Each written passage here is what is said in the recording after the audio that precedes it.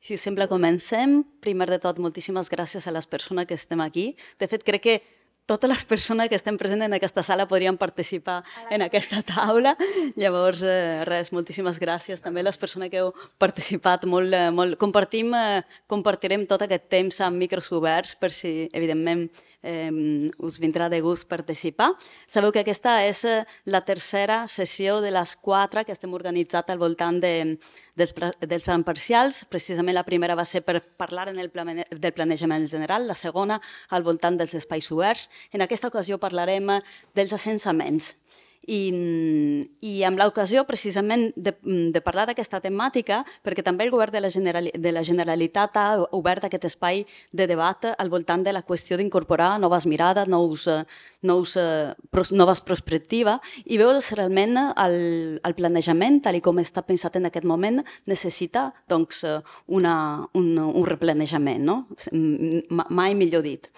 Llavors, eh, sabem que els assentaments urbans són de l'expressió màxima d'aquesta confluència entre la societat i el context, el, el, el medi ambient, i en aquest cas eh, volíem plantejar-nos una sèrie de preguntes des de diferents perspectives que en aquesta mateixa taula estan defensades per el, per el món de la, de la geografia, de l'arquitectura. De fet, el Benet Fuster es, es, es disculpa, però avui ha estat malalt i no, no, no ha pogut estar amb nosaltres, però tenim l'Eloi Jubilà que, ens, que, que, que, que, que ho substituirà i ho complementarà amb el seu discurs.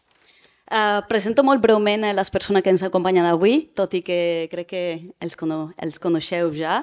El, el Josep Wagner, primer de tot, a banda de ser el president eh, de la Societat Catalana d'Observació del Territori, és responsable d'anàlisi i perspectiva territorial, és geògraf per l'Universitat Autònoma de Barcelona, màster urbanisme per Grenoble, ha estat professor associat, ha tingut...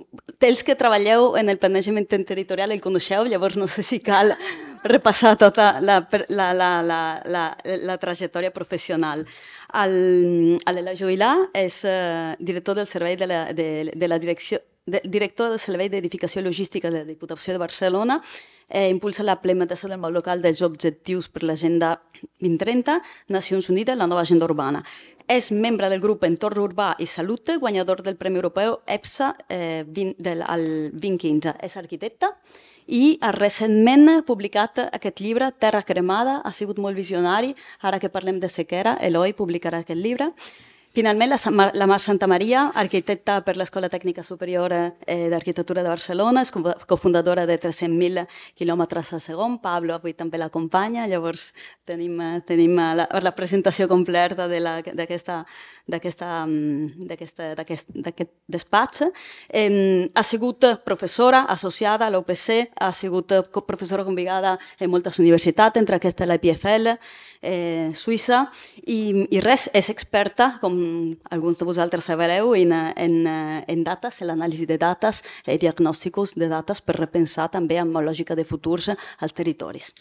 No voldria alargar-me més perquè m'agradaria molt començar les preguntes. Començarem pensant una mica en una part de diagnosi de lo que ha sigut el planejament en termes d'assensaments, eh, pensant a, mm, primer de tot, què ha servit enfocat el Pla Territorial Metropolitat de Barcelona eh, què creus que ha servit aquest pla i si ho féssiu ara, què ho faria? I sí que m'agradaria començar per al Josep, per una perspectiva no només històrica àmplia en el planejament, sinó també per, per la visió en xarxa d'un territori complex en el qual hi ha la confluència de moltes coses i els assentaments és una part important d'ella. Si us plau, Josep. Gràcies. Seria absurd dir que agraeixo la invitació perquè, de fet, ens hem autoconvidat en aquesta festa de, de tal manera que, en tot cas, agraeixo la vostra presència de totes i tots vosaltres i, i, i, i dels col·legues de l'ofici i els he dit que tinc un punt una mica de neguit perquè estic parlant davant d'alguns dels mestres i referents com el Juli Esteban o el Josep Maria Carrera sobre els quals jo he après allò que jo crec que he pogut aprendre al respecte de, del, del planejament territorial. En tot cas, deixeu-me, abans d'entrar a respondre directament la pregunta, i mirarem de ser breus i sobretot donar la paraula després a la taula, eh? eh a la taula, la, al, al, al, als assistents. Deixeu-me comentar tres elements de, de context que són importants i que, i que estan de rellevància, són de rellevància en el moment en el que estem aquests dies. que són tres elements que incideixen plenament en el sistema de planejament o en tot cas que són una derivada directa del sistema de planejament. La primera és un informe que van publicar ahir o abans d'ahir al Centre d'Estudis Demogràfics que parla de la Catalunya dels 8 milions. És l'informe en el qual plantegen una mica les bases sobre les que la demografia està doncs, avui mateix plantejant els futurs 20-30 eh, anys i planteja que ja està, ja hem arribat a aquests 8 milions, ja és un fet, ja, ja, el, ja, el, ja el podem considerar com un fet, i planteja en la seva darrera, en la seva darrera pàgina, l'informe té doncs, l'extensió que té, però té un, un document de, de conclusions molt breu i planteja tres reptes fonamentals. Diu, el primer és gestionar un territori cada cop més poblat, per tant, genera unes necessitats, uns reptes de gestió de l'habitatge, dels serveis per poder, diguéssim, dotar aquesta població dels recursos necessaris i, de la, i, dels, i dels serveis públics necessaris per poder doncs, eh, establir la seva, mantenir unes condicions de vida adequades i la mobilitat però hi fa una atenció específica, diu, aquest territori cada cop més poblat, que té aquests tres reptes, diguéssim, associats a aquest primer de gestionar aquest poblament, és que hi ha una tendència, diguéssim, bífida, en la qual tenim un territori amb un despoblament i tenim un territori que el, plan, el, el, el, document el planteja sota l'apel·latiu de gentrificat. Jo no estaria tan d'acord en dir que és un territori gentrificat, tendria que el que volen dir és que és un territori que tendeix a una segregació residencial cada cop més, més punyent. Ho podríem resoldre així, des de la meva perspectiva, però ells ho, ho, ho anomenen així. Diu, tenim un territori en despoblament i un territori en gentrificació. Per tant, aquesta tendència del poblament, diguéssim, l'hem de tendir, l'hem de, de poder gestionar sota aquests conceptes. El segon gran repte és el de la cohesió social, i parla de llengua, de mercat de treball, d'educació. I el tercer gran repte, que està lligat molt al primer, és el de l'envelliment. Per tant, tenim un territori que s'està poblant cada cop més, però de forma desigual, tenim un territori que requereix d'una necessària atenció a la manca o a la dinàmica de pèrdua de la cohesió social entre els pobladors d'aquest espai i són uns pobladors que cada cop estan més envellits, amb una baixada de natalitat, etc etc. Per tant, aquest és un dels elements que crec que s'han de tenir en context a l'hora de plantejar-nos qualsevol cosa que després direm. Eh? El segon és el pla territorial sectorial de l'habitatge, que si no m'equivoco ha entrat ja, ara fa pocs dies, en eh, aprovació provisional. Per tant, ha arribat al govern i el govern si té a bé d'aprovar-lo, l'aprovarà. Clar, aquest pla territorial és fonamental i no dic que es derivi del pla territorial parcial o del conjunt dels plans territorials parcials, però evidentment necessita d'un diàleg permanent i necessari per tal de poder assolir els seus objectius i no eh, trair, els plantejaments que té el pla territorial, ja sigui quin sigui aquests plans territorials. Eh? Però vaja, anem a les magnituds bàsiques. Si anem als documents generals d'aquest Pla Territorial Sectorial de l'Habitatge, no hi entrarem en technicalities, planteja que pel 2037 s'hi ha d'haver intervingut, no vol dir s'han d'haver generat noves, però s'hi ha d'haver intervingut sobre 408.000 llars, en fórmules diferents. I s'hi han d'haver destinat, la memòria econòmica diu que s'hi han d'haver destinat 15.000 milions d'euros, gairebé 16.000 milions d'euros. Clar, 16.000 milions d'euros en 13 anys, no sé jo si estarem en condicions de poder-ho fer. Mm, tinc els meus dubtes seriosos de poder-ho fer. Però vaja, aquesta és la memòria econòmica, aquests són els plantejaments maximalistes del pla, maximalistes. Eh? I el pla, doncs, ja sabem, no? els que l'hem mirat mínimament, sabem que hi ha diferents tipologies de municipis, els municipis d'alta demanda de forta i els municipis, ah, les àrees de demanda forta i, i, i, i acreditada, de tipus 1 i de tipus 2 en funció de la intensitat, les àrees urbanes preferents, les àrees urbanes no preferents i les àrees rurals. Estableix una cartografia i cada municipi li toca, diguéssim, una etiqueta.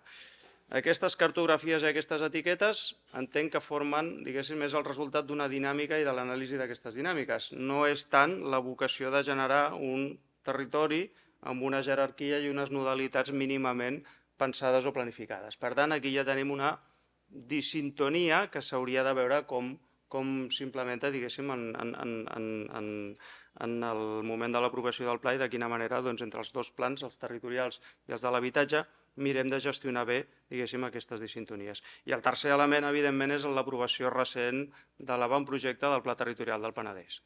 Per què? Perquè és una mica l'avançadilla que el govern ha plantejat, diguéssim, com a nou instrument que intenta doncs, eh, posar al dia els plans que es van aprovar doncs, en el període del 2006-2010. No? En aquest Pla Territorial del Penedès ja podem observar, ja podem entendre de quina manera doncs, el mateix el govern o el departament responsable de la matèria pot eh, o intenta plantejar, diguéssim, les seves estratègies. Per tant, bueno, són tres elements de context abans de parlar. Dit això, diguéssim, mirem-nos-els, estudiem-los i, i, i, i veiem una mica de, de, de, de, de què va cada cosa per tal de poder plantejar. Aleshores, passo ja a la resposta de la pregunta de la, de la, de la Isabela. No? Diu, alguns elements de balanç. Diu, què es va fer bé, què no es va fer bé, o què creiem que pot ser servir, què no pot servir. M'agradaria recuperar una frase del Ferran Miralles de la sessió anterior, que em va sobtar i em va sorprendre. I va dir, els espais oberts, perquè la sessió anava d'espais oberts, s'han preservat més per les dinàmiques i les estratègies atribuïdes als assentaments que no pas pels mecanismes de protecció del sol establerts pel pla territorial. Em va sorprendre, després ho va explicar. Però vaja, això denota que del que estem parlant avui té un component substantiu important, que aquelles estratègies que se li van atribuir a cada un dels assentaments bueno, van servir per contenir en certa mesura l'extensió, no dic altres qüestions vinculades als nuclis, però sí l'extensió, de tal manera que els espais oberts s'han vist menys pressionats. Evidentment, el cicle econòmic, el cicle immobiliari, etc., doncs eh, també és un element de context que no podem obviar. Però vaja, mm, algú com el Ferran, que va ser redactor dels plans eh, després va ser director de Medi Natural, eh, atribueixi a les estratègies dels assentaments la bondat d'haver protegit el sol eh, dels espais oberts, doncs, doncs, doncs no, és, no és una cosa que, que puguem passar per alt. D'acord?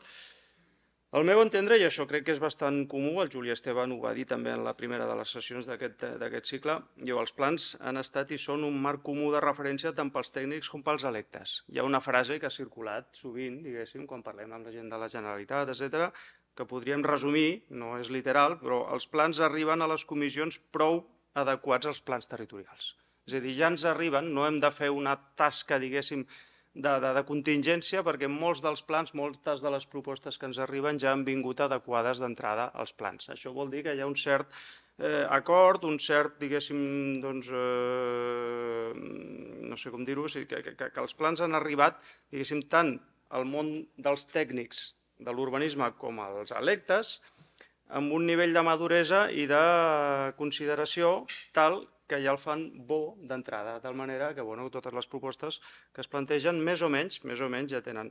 Després hi ha casos específics, hi ha tret de, de, de projectes singulars que evidentment doncs, per la seva naturalesa han desbordat els plans i s'ha buscat en alguns casos amb èxit el seu encaix i en altres casos ho han decaigut el projecte o el pla diguéssim, doncs, ha sigut menys tingut i s'han derivat altres, altres mecanismes d'ocupació de, del sol. D'acord? També és cert, i és bastant, és bastant comú entre l'ofici, diguéssim, que els criteris de planejament, els criteris que es van establir en l'inici del programa de planejament, de planejament territorial, eh, són, són vigents, són vigents, són compartits. Potser caldria alguna eh, revisió, afegir alguna capa d'informació, afegir alguna qüestió vinculada a factors metabòlics de l'energia, de l'aigua, etc, eh, que potser no estaven prou recollits o de forma tan explícita en els criteris anteriors. Bé, en tot cas, eh, en Juli, no, no, no, no m'hi repetiré, en la primera sessió ja va apuntar algunes millores possibles, diguéssim, al, a l'establiment d'aquests criteris, o més que millores, afegitons, diguéssim, per poder, per poder millorar i poder respondre de forma més, més enfàtica a alguns dels eh, de les dinàmiques que avui ens estan, ens estan doncs, configurant una mica l'acció pública envers el territori. D'acord? Eh, alguns elements una mica a millorar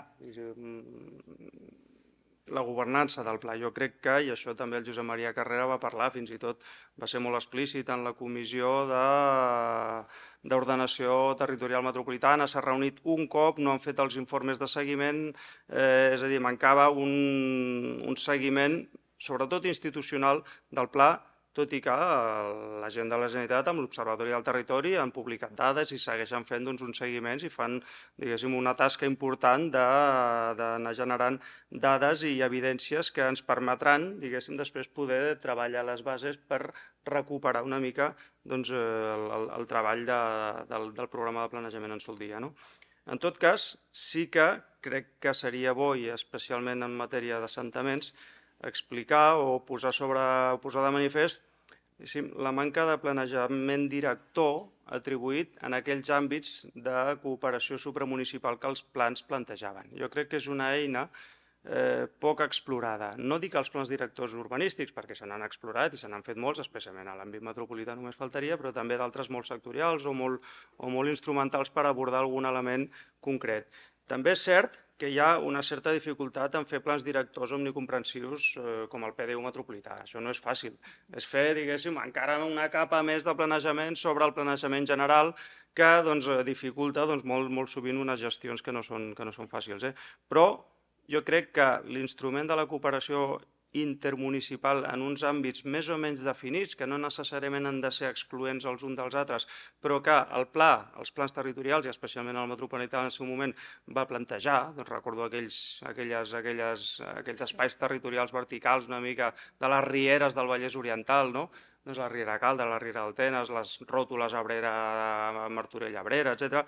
Doncs aquests espais una mica d'incorporació d'una nova escala, crec que els plans els podrien eh, portar una mica més enllà, d'acord? I finalment, i aquí hi ha una de les qüestions que ja he apuntat en l'inici, és una certa escassa incidència de com els plans territorials s'han pogut traspolar a plans de caràcter sectorial. O per la manca d'aquests, no tenim pla d'energia, no tenim pla dels sectors de, de, dels espais agraris, ara sembla que tindrem sembla que tindrem un pla territorial sectorial de l'habitatge, però quan l'anem a analitzar veiem que parla poc, diguéssim, el pla territorial. Jo crec, i això no és atribuïble al pla, és atribuïble a la gestió del pla, quedi clar. D'acord? Aquesta manca una mica de, de, de, de, de, de, de governança. Hi ha excepcions notables. Eh, quan parlàvem dels PDUs de caràcter instrumental, el PDU dels, o els PDUs dels sols no sostenibles és un, és un element a, a lluar i crec que és una de les polítiques que han posat de manifest també una vocació d'endreçar segons quines dinàmiques i recuperar un element que són aquelles rèmores dels planejaments antics que segurament estaven dimensionades en un àmbit territorial i en un àmbit temporal que no, que no, que no, que no es correspon al de, al de, al de l'actualitat. D'acord? Per tant, entre objecte i subjecte, entre el pla, l'instrument i subjecte, diguéssim, el govern que l'ha de fer bo, entenc que, eh, podríem dir així, utilitzant un llenguatge una mica, una mica pueril, si voleu, que l'objecte progressa adequadament, però el subjecte ha de progressar, diguéssim, necessita millorar. No? Aleshores, bé, eh, crec que podem generar un espai de major ambició pels plans territorials. I fins aquí la meva primera intervenció i després ja seguirem. Molt bé, moltes gràcies, Josep. A més, per aquesta, per aquesta gairebé intervenció que sigui molt exhaustiva, ens posa una mica en context en on estem en quant a la jerarquia també no, del planejament. Eloi, també ens agradaria saber, la, amb aquesta lògica de perspectiva de futur, la, valorar la vigència, els assoliments la capacitat transformadora, transformadores dels plans des d'una perspectiva, diguéssim, des d'uns vectors de caràcter socials, ambiental i de salut fins i tot, cosa que ja comentava abans el Josep, probablement eh, han faltat de profunditat en els plans anteriors. Molt bé, jo començaré igual que el Josep, no? i deixeu-me fer una petita introducció que em serveix després per, per respondre. Quan parlem d'assentaments urbans i no humans, un assentament humà, per exemple, és, és un camp miner, no? on, on hi ha gent, hi ha miners que van allà a treballar, treballen, moren, viuen, no sé què, i marxen. Estem parlant d'assentaments urbans, per tant, quan parlem d'urbà, parlem d'algo més que d'un lloc on la gent hi dorm no? i on la gent hi està. Plató deia que una ciutat havia tindre uns 2.000 habitants. Aristòtil ens deia que l'important és que una ciutat havia de tindre més o menys uns 5.000 habitants, però que com a mínim tots s'havien de conèixer els uns als altres. Per tant, ja ens està introduint de que un assentament urbà no és només un lloc on, on hi viu gent, sinó que hi ha unes interrelacions socials entre ells i que això també forma diguem, part d'aquest assentament urbà. No?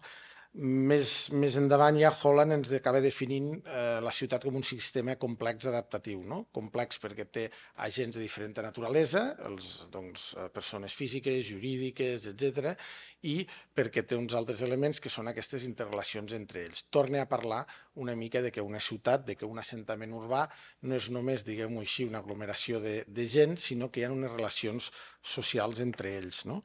Jo crec que aquest és un dels temes realment importants, és a dir, mm, com una planificació territorial, en aquest cas, o fins i tot urbana, pot acabar plasmant aquestes relacions inter, intersocials que volem que generi la ciutat. No? Si anem més, més enllà, després de Holland, eh, la revista Nature va, va definir una vegada les ciutats com que eren un reactor social. No? El que deia era que les ciutats actuen una mica com actuen les estrelles quan es formen, que el que fan és agafar matèria, accelerar-la molt i aquí generen moltes relacions. No? El que deia és que una ciutat, de fet, és el mateix. El que agafa és, és gent, és coneixements, és relacions socials, les activa molt i d'aquí apareixen moltes coses. I que si això no ho té una ciutat, no li podem anomenar ciutat o no li podem anomenar assentament urbà. Per mi una mica el tema és com això, com fem que la planificació eh, vagi a favor d'aquest fet i no en contra. No? I crec que això és un, un dels elements principals importants que potser fins ara mm, no s'havien tingut tan presents en les ciutats. Jo crec que venim d'una planificació on es, passa, on es parlava molt de l'entreperialisme urbà, no? es veia més la ciutat com un motor econòmic i potser hem obviat durant aquests anys que la ciutat sobretot és el nostre hàbitat, no? és, és, és el lloc on vivim. I, I jo crec que a vegades hem tendit massa cap a planificacions diguem, perquè la ciutat funcionés com un motor econòmic i no tant com, com, com, un, com el nostre hàbitat que és. No? I això ens ha portat a de que arribem en un moment on es, parle, es torni a parlar del peatge de salut urbana. És a dir, l'urbanisme neix per evitar precisament tots els problemes diguem, de salut que tenen les ciutats del, del segle XIX, no? i per això neix. Les... Passem per una època que no sabem per què tornem a generar uns problemes de salut urbana i ara, en aquests moments, ja tornem a ficar damunt de la taula que les persones que viuen en ciutat pateixen un peatge de salut urbana. O sigui, tornem una mica al segle XIX, no? tornem a dir, es viu millor, deixeu-m'ho dir així, eh? en el món rural, que no en les ciutats, perquè les ciutats, diguem, són més brutes, més contaminades. Com, com ens ha passat això? Com, com ha passat que la nostra planificació ens ha dut aquí, no? I, i, i ha arribat a ser un problema tan important que fins i tot, i alguns dels, dels que esteu aquí ho heu viscut en les vostres pells, hi ha moviments polítics que gràcies a aquesta reivindicació de tornar a fer la ciutat un hàbitat saludable pels seus habitants aconsegueixen, eh, diguem, arribar a governs. No? Vull dir que no, no és un tema que sigui menor, sinó que hi ha un moment que la mateixa societat comença a canviar i comença a veure la importància que té això en els assentaments urbans. Jo crec que aquest és un tema que o potser en el seu moment no es va tindre tan present o no, o no es pensava que, diguem, que arribaríem a un escenari on realment la, la, la, la complicació a nivell de salut i a nivell, diguem, seria tal com per generar aquests efectes contraris. No? Eh, hi ha un moment que el, la, la mateixa agenda urbana, en la seva carta de Leipzig, defineix per mi un concepte important que després, de, de fet, Europa després no l'ha desenvolupat molt, que són les àrees urbanes funcionals. Per primera vegada es parla de que un assentament urbà, una àrea urbana, no és només la seva àrea, diguem, on la gent hi viu, on la gent hi fa activitat, sinó tota la seva àrea d'afectació. I obre una certa porta, vull dir així, a poder qualificar com a àrea urbana, per exemple, tota aquella àrea que ha de servir per subministrar ja sigui energia, ja sigui aliments a la ciutat. No? I jo crec que aquí, ostres, s'obre un, un paradigma a nivell de planificació bastant important. No? Què és el que definim fins ara com a assentament urbà o àrea urbana? Fins ara era, perquè ens entenguem, la zona que ocupaven els habitatges, els habitatges i els equipaments. De sobte Europa ens comença a dir que potser hauríem de pensar que la zona urbana no és només la que diguem, ocupen els habitatges, sinó tota aquella zona que la ciutat necessita per viure. Una mica com a metabolisme, eh, perquè ens entenguem. Jo crec que això ens obre un, un, una porta que realment fins ara mm, no s'havia tingut present, segurament perquè no hi havia encara aquesta pressió metabòlica o aquesta pressió eh, de petjada ecològica, si voleu dir, com hi era abans. Jo crec que aquest és el segon punt per mi important. No? Estem en un moment, i més ara en un moment de sequera, on segurament la base de tota planificació ha de ser la sostenibilitat urbana. Ja no dic la sostenibilitat planetària, però sí la urbana. No? I això ens condiciona, crec que hauria de ser la base de tot. Eh? Hauríem de dir, jo recordo tot el discurs quan, del trasbassament, ara que torna a estar de moda, que al final el trasbassament de l'Ebre que havia d'anar cap a València es va parar perquè la, el, en aquells moments la Unió Europea va dir que com és que es feia un trasbassament a València quan València estava projectant un milió més d'habitatges a la costa no hi tenia aigua. No? Una mica com dient, escolta, si vostè té un territori que no li permet aquest creixement, com és que planifica aquest creixement? No? I jo crec que a vegades aquestes matrius, si voleu dir-li així, geogràfiques no? o, o ambientals, no s'han acabat de tindre present, potser perquè tampoc estem en un moment d'extrema diguem, debilitat com és ara. No? I això em porta, si em deixeu així, al tercer punt, i aquí enllaço amb el Benet Fuster, que no ha pogut ser aquí, però que m'ha transmès els seus coneixements, no? Amb la debilitat que ha tingut tota aquesta planificació en la seva implementació i gestió. És a dir, hem pogut tindre molt bona planificació, però ha, estat tan condicionada als elements de gestió, ja siguin polítics o altres, que n'han acabat evitant la seva, bona part de la seva implementació. No? I aquest és, és, una, és, és un element que potser ens fa dir que per d'alguna manera, en paraules que ara es fan servir molt, no hem blindat prou um, les bonances d'aquesta aquest, planificació, de tal manera que els canvis s'han pogut produir molt, molt ràpidament. Tot i això crec que ha tingut una cosa molt bona, eh? i que jo crec que des de l'Escot sempre defensem, que s'ha planificat. I crec que la planificació és l'única eina que tenen les administracions públiques i la ciutadania per garantir el bé comú i per garantir que és el bé comú i no el mercat qui dissenya els nostres assentaments urbans i el nostre territori. I sempre ho diré, eh? el mercat és una eina preparada per fer diners, no és una eina de justícia redistributiva ni de planificació. Per tant, l'única eina que tenim com a administració pública i com a ciutadania en general és aquesta planificació i l'única manera que tenim de fer assentaments urbans sostenibles és planificant. Per tant, jo crec que hi va haver un gran primer pas que era planificar aquest territori, entenent que segurament eh, Europa és més una xarxa de ciutats intermedis i per tant quan parlem d'assentaments urbans, no sé si hauríem de parlar tant d'assentaments urbans o de territoris urbans, no? Vull dir, i, i Europa és urbana, dir, el món és urbà i el futur és urbà, no ens enganyem, el 80% de nosaltres vivim en assentaments urbans, dir, i el 50 d'aquest 80 vivim en ciutats intermèdies, per tant, el futur és urbà, i això representa un 20% del territori. I aquí entra una mica amb el que deia el Josep, no? Estem com densificant molt un 20% del territori, i que segurament aquest 20% del territori necessita un nivell de planificació diferent al de l'altre 80, i amb això no vull dir que no haguem de planificar, però és que aquest 20% del territori ha passat de tindre 2 milions o 3 d'habitants a tindre'n 6. No? I, Una polarització. Clar, i, I això jo crec que és, és, és, fa que aquest peatge de salut urbana sigui encara més important i fa que aquesta petjada, diguem, ecològica de, de les ciutats sigui encara més gran. Jo crec que aquest és un dels temes que hem, que hem de controlar. No? Al final, ja ens ho deia el Jean Gell, no? que una ciutat òptima havia de permetre les teves activitats bàsiques, que era mirar, escoltar i parlar. No parlar de, de, de dormir, eh? mirar, de, mirar, escoltar i parlar. I per mi la dificultat és com això, com aconseguim que la nostra planificació vagi a favor d'aquestes activitats i no en contra. No? Una mica aquesta seria la idea.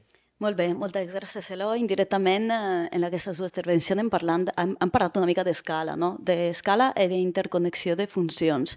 I és per aquesta raó que m'agradaria demanar-li a Mal precisament l'importància per la perspectiva dels usos de les escales, també de la diagnosis, no? la necessitat de tenir unes mètriques alineades a l'hora realment de veure si els objectius marcats s'han assolit o no. Marc.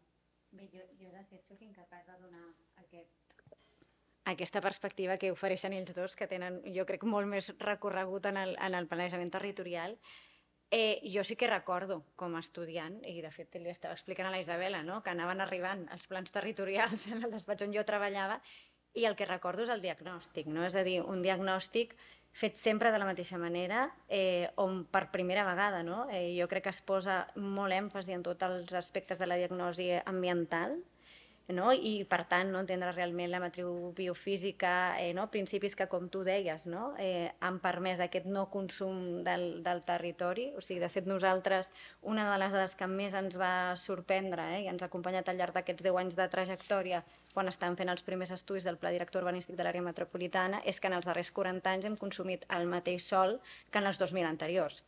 Per tant, és a dir, hi ha, hi ha una sèrie d'elements no? eh, que es comencen a reconèixer en, en, aquell, en, aquell, en aquell moment i que estan recollits en, en, en aquestes diagnosis que jo crec que, que són, són importants. No? Però sí que per, per contestar la teva pregunta, eh, m'agradaria pensar en aquestes noves capes que, que es poden introduir en la, en la diagnosi. No? Jo crec que aquests plans també són fruits d'un moment eh, molt, molt concret, no? d'una postindustrialització. Ara, realment, eh, estem en un escenari total nou. Tu, tu, has parlat, no? evidentment, el canvi climàtic eh, ens obliga no? eh, a repensar-ho tot, però hi ha molts altres factors. És a dir, si Catalunya, per exemple, no? eh, i jo crec que en alguns d'aquests plans directors urbanístics que s'estan generant o s'està intentant, ens volem convertir en una potència industrial, de, no? per exemple, no? volem fabricar els xips o les bateries de Catalunya, necessitem darrere no? tota una sèrie d'infraestructures energètiques, no? eh, econòmiques, eh, que ens ho permetin. No? Per tant, el repte d'aquesta nova, no? com ens reindustrialitzem no? eh, com a país, no? jo crec que és una d'aquestes capes que hauríem d'introduir. Eh, no? Tu apuntaves també eh, el, el, tema, no? el tema demogràfic no? I, aquests, i aquests territoris gentrificats el 2006 aquesta pressió global no? eh, de molts dels fenòmens no? que tenim a les, a les ciutats no existien. No hi havia cuines fantasma, no hi havia apartaments turístics. No? Aleshores, en els assentaments urbans ens han passat una sèrie de fenòmens que no corresponen a les lògiques d'escala tradicionals, i això ha passat, no? eh, en certs àmbits del territori de Catalunya que s'han de reconsiderar i que des del planejament encara ens estem intentant inventar no? com, com les podem regular no? I, com, i com les podem eh, introduir. No? I això vol dir que tenim no? eh, una polarització no? d'unes certes problemàtiques en, en, el, en el territori, però al mateix temps no? aquest canvi climàtic ens obliga a una idea de creixement en molts altres llocs del territori. És a dir, tenim, eh, i dins de l'àrea metropolitana, eh, eh, moltes urbanitzacions, molts assentaments que avui en dia eh, doncs, estan obsolets des del punt de vista energètic, però és des del propi no, eh, consum de sol i per tant això també ens obliga a dir bueno, en quins àmbits del territori ara mateix podem treballar no? eh, en, en aquest decreixement, perquè segurament no, si ens, ens posem en, no, en, en el mindset no, d'objectius, no, energia 0, 20, 50, no podem regenerar no, de tota Catalunya. Nosaltres a Barcelona més o menys ho tenim calculat, és el 90% del parc edificat, és a dir, els deures són, són, són realment molt grossos. No?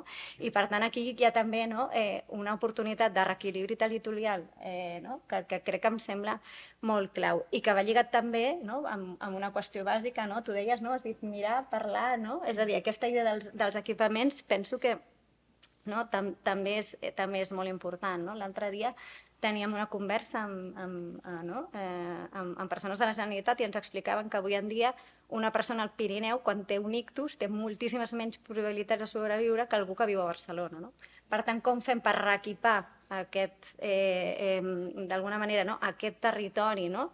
I aquí és on a mi em trenca una mica no? eh, l'esquema, aquesta idea de, del pla territorial parcial, no? és a dir, com aconseguim eh, no? i lligant amb, no? amb això que deies tu, no? aquest concepte de les àrees funcionals, realment entendre que hi ha territoris no? on no podem no? Eh, fixar aquest límit administratiu en quant en com els, els, els habitants no? eh, l'estan fent, fent servir.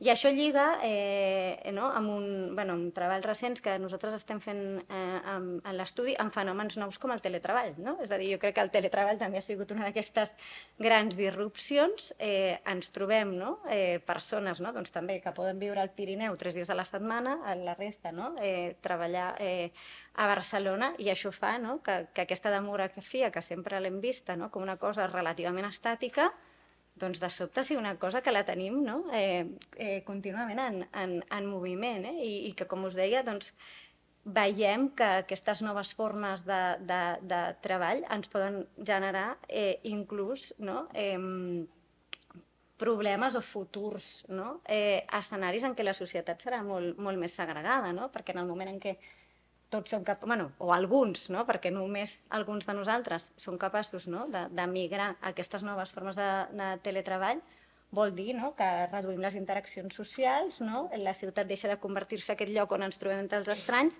i que, per tant, no? aquesta pèrdua de, de, diversitat és un, un, un risc molt real. No? per tant, entendre aquesta, no? aquesta capa de, no? de, de dir, ostres, com no? que aquestes noves formes eh, o lògiques econòmiques que, a més a més, no? van, van lligades a una reducció de la mobilitat, tindran un impacte no? en, el, territori que hem de, eh, de saber llegir. No? I això com ho fem? No? I és, aquí és quan entren les, les eines. No? És a dir, en aquell moment, eh, aquestes diagnosis que, no? que, que realment no? eren unes diagnosis del punt científic, jo crec, no? eh, excel·lents, clar, de sobte aquí hem de, no? hem de posar-li esteroides, hem de ser capaços de descriure eh, no? tots aquests nous eh, fenòmens no? que propis del, del moment en què aquests nous plans territorials parcials no? seran redactats i aquí és quan ens podem recolzar no? eh, amb, amb les dades, no? dades que produeix la, la pròpia administració, dades que produeixen eh, no? eh, ens privats, dades que no? algunes administracions no? eh, poden no? eh, d'alguna manera doncs, adquirir i que ens permeten fer descripcions del territori molt més dinàmiques de les que fèiem. No? Aleshores, aquests treballs que us explicava, eh, nosaltres els hem, els hem fet gràcies a que l'Institut Nacional d'Estadística va comprar eh, les dades no? a, la, a totes les, les tele... bueno, és a dir, a les tres grans empreses de telefonia que tenim aquí a Espanya, són, són tres que ens permeten veure com la gent es mou pel territori un, un dia feiner. Això és molt millor que qualsevol enquesta de mobilitat que puguem fer, perquè realment no, ens dona el, el, no, el pols i ens permet descriure eh, no, de manera molt clara aquests àmbits funcionals. No? Per tant, aquí se'ns obre una, una oportunitat en, en la descripció d'aquests àmbits territorials que passa per incorporar no? les dades en diversos formats i també les eines. No? Jo no ho sé, Juli, no sé com dibuixàveu aquests plànols, no? m'imagino que potser amb AutoCAD, no? MicroStation en els millors dels casos, avui en dia no, doncs tenim els, els sistemes d'informació geogràfica, han fet un salt d'escala realment molt, molt, molt, molt, molt important no? i són tecnologies que tenim a l'abast per poder-les incorporar en el nostre dia a dia i fer que aquesta, no? aquesta diagnosi sigui una cosa que puguem repetir de manera doncs, molt, molt més fàcil, no? perquè i crec que ho, ho apuntaves tu, és molt difícil, no? Al final, o bueno, hi ha una certa voluntat de monitorar no? tot el que, no? És a dir, l'aplicació d'aquests plans, no? I per tant sí que és veritat que aquestes tecnologies de dades ens permeten posar-nos al principi, és a dir, mm, fer no? que aquesta diagnosi pugui ser més complexa, però acompanyar-nos també en el, en el procés d'aplicació, no? és a dir, establint aquells indicadors de seguiment eh, adequats i posar les infraestructures de dades necessàries per poder-los després no? eh, refrescar i entendre no? que, evidentment, són documents no? de, molt, de molt llarg eh, recorregut que potser no? eh, eh, a mig camí, no? amb, un, amb disrupcions tan grans, no? com podrien ser un Covid, podria ser, no? és a dir, un esdeveniment climàtic eh, extrem, doncs podríem, no? Eh, d'alguna manera, eh, incidir-hi. Incidir jo crec que com a primera intervenció. Gràcies, gràcies, Marc. De fet, és interessant perquè estem parlant de planejament, però indirectament ha sortit com realment el, cada context urbà està definit per un número infinit de factors, des de la forma urbana, la geografia, el sistema ecològic, la capacitat eh, elasticitat institucional, el caràcter, la, la capacitat política, l'efervescència cultural, la presència d'un turisme que apareix de cop i volta, la capacitat d'anàlisi de les dades, no? Tots aquests factors han influït en una evolució amb diferent temporalitat, diguéssim, de la, de la forma urbana mateixa. Eh, és per aquesta raó que m'agradaria plantejar el tema del temps, és a dir, el, la temporalitat de les transformacions urbanes socials. Quan pensem el planejament, normalment l'imagineu com una foto fixa, no? el planejament estàtic. Podem pensar un planejament dinàmic, un planejament elàstic, sobretot davant d'aquell dilema com top-down del planejament, davant de dinàmiques eh, bottom-up o, eh, I és per aquesta raó que m'agradaria saber des de la vostra disciplina com penseu que hauria de ser el planejament i així sí que parlem ja de, no de cara d'anàlisi de lo existent, sinó de cara al futur. No? Com hauria de ser el planejament per tal que els nostres territoris siguin més resilients i adaptables a les necessitats emergents, com sigui, per exemple, no? el teletreball en època de pandèmia, a fenòmens sobtants, com ha sigut crisi, o ara no és tan sobtant lo de la sequera, però sí que ara arriba a tothom, i alhora, però, capaços d'abordar i adaptar els canvis amb millores estructurals evolutius a llarg termini. En aquest sentit, com influeix el tema del temps i el planejament? Com juguen alhora? Josep, comencem. hòstia, m'has m'has tirat una pilota important, eh? Toma. No, a més, qui em coneix sap que jo no em caracteritzo per una creativitat desbordant, per tant necessito algun referent una mica per fer una mínima proposta, i els referents és, bueno, anem a veure què ha passat, tu parles del temps, bueno, i ara utilitzaré unes dades que ens han ofert la gent de l'Observatori del Territori de la Generalitat, eh? en, en relació al que ens manté avui aquí, eh, diguéssim, fent una anàlisi de les dinàmiques que s'han observat en els municipis i en els nuclis en base a l'estratègia que tenien assignada pels plans. Diuen, pels de creixement, els que tenien estratègies més de contenció, eh, doncs, extinció o manteniment del caràcter rural, no m'hi poso, però en els de que plantejaven creixements, diuen els de l'Observatori Territorial, del territori de la, de la Generalitat, que agraeixo les dades perquè les tenen publicades i és, és una feina que, que, que necessitem. Diu, l'estratègia de creixement moderat s'aplica, i això està lligat amb el temps, eh? Isabela, l'estratègia de creixement moderat s'aplica a 62, 642 nuclis, no municipis, nuclis urbans, 197 dels quals han superat el creixement previst i 186 han perdut població. I en total, 259 han crescut seguint la seva franja prevista. És a dir, un 50%, si fa o no fa, una mica menys, han mantingut allò que el planejament preveia. Alguns han crescut, altres menys. I segurament aquí, si posem el mapa, doncs ens sortirà aquella Catalunya dividida, diguéssim, amb la diagonal dels territoris més interiors i els territoris més, més, més propers al litoral. Diu, l'estratègia de creixement mitjà s'aplica a 72 municipis i en aquest cas parla de municipis. Diu, 11 dels quals han superat el rang de creixement establert i 20 han crescut dins de la tendència proposada i no parla dels que han perdut perquè no en deu haver-hi. De tal manera que, finalment, l'estratègia de creixement potenciat s'aplica a 72 municipis, 4 han incrementat la població en un rate de creixement potenciat, superior al 60%, mentre que 8 municipis amb estratègia de creixement potenciat perden població. Per tant, les estratègies assignades a cada un dels nuclis seguint una lògica d'una certa jerarquia, més o menys ha funcionat. El que no ha funcionat és la seva distribució territorial. Tu parlaves del Pirineu. Deies, eh, tenir un ictus al Pirineu eh, et posen més en risc de mort que tenir-lo aquí. Sí, d'acord, però és que sempre ha estat així i segurament ara és molt més mitigat que abans. Això és una qüestió que, que, que coneixem. És a dir, abans era bastant pitjor que no pas ara. Aquesta, hem de tenir en compte aquesta qüestió. La segona és envers aquesta dotació indiscriminada d'equipaments, de, de, i aquí tenim el director general d'Estratègia de, de, Territorial, que és el, seu, és el seu tema, i li agraeixo la, la visita. Eh? Eh, tenim aquella, aquella dinàmica que els, que els demògrafs a nivell espanyol ens diuen avui tenim cada cop més ciutats, capitals de província, dotades amb universitats, amb eh, hospitals de primer rang, etc etc, tenim la població jove cada cop més ben formada en aquestes capitals de província, perquè justament els hem ofert uns serveis educatius superiors cada cop més potents i cada cop aquesta gent marxa més a Madrid, a València, a Bilbao, a Sevilla, a Barcelona, és a dir, com més dotem el territori, no dic que sigui una relació causal, en absolut, no ho és, però estem dotant el territori d'uns elements de, de, de, de, de qualitat, sobretot educativa i d'assistències, a la vegada que estem observant un buidatge d'aquests territoris. Per tant, la dotació per se, indiscriminada, i dic indiscriminada no en el sentit pejoratiu, sinó doncs, sense major criteri que el fet de tenir-la, molt sovint ens dona uns resultats no desitjats, que és que cada cop la gent marxa més, perquè la tenim més ben formada, però marxa més. Què passa aquí, no? No dic que tampoc no li haguem de donar, no estic dient això en absolut, eh? Però vaja, és a dir, aquestes relacions causals necessiten de més informació i de veure com es mouen aquestes persones. I segurament també hauríem d'observar, i aquesta és la crítica que li vaig fer a aquestes dades, m'esteu donant unes dades de caràcter municipal, però necessitem veure de quina manera aquests creixements s'han configurat en el territori, quin és el model urbà que han creat aquests creixements per sobre del previst o aquells municipis que estan per un, amb un que han perdut població, a on ha anat aquesta població, a quins altres municipis han anat. Per tant, necessitem molta més informació i aquí les dades, aquest Big Data no? que, que es deia abans, no? aquest Big Data segurament ens ajudarà a entendre més els fenòmens. Una mirada municipal i una mirada amb unes dades molt bàsiques és necessària, és important, ens permet revisar algunes de les estratègies, però no és suficient. Necessitem més dades, no?